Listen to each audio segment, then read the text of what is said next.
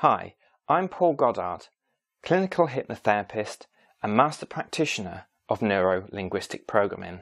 This is a piece of writing that I've known for many years and it has always resonated with me, so I wanted to share it with you now and hopefully it resonates with you too.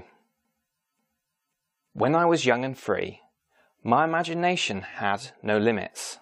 I dreamt of changing the world. As I grew older and wiser, I discovered the world would not change. So I shortened my sights somewhat and decided to change only my country. But it too seemed immovable. As I grew into my twilight years, in one last desperate attempt, I settled for changing only my family, those closest to me. But alas, they would have none of it.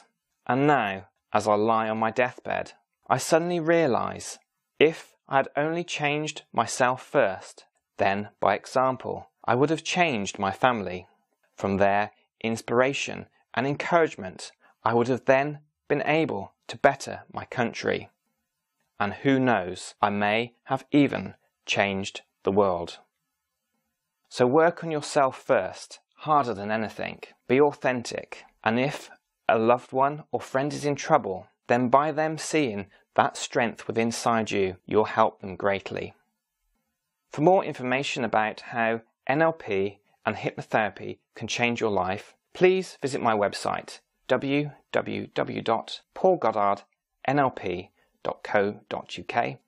That's www.paulgoddardnlp.co.uk. You can also like me on Facebook, Paul Goddard NLP and Hypnotherapy.